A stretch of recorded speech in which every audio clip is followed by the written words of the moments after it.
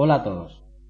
A lo largo de esta explicación vamos a hablar del desarrollo de una rutina de pensamiento dentro de nuestra clase.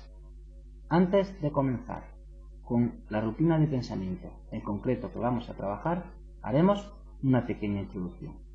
Las rutinas de pensamiento tienen como objetivo desarrollar actitudes reflexivas y el carácter intelectual de los alumnos a medida que van profundizando en la comprensión de contenido. Existen diferentes rutinas de pensamiento. La rutina de pensamiento puente, veo, pienso, me pregunto, color, símbolo, imagen, piensa, resuelve, explora, puntos de brújula.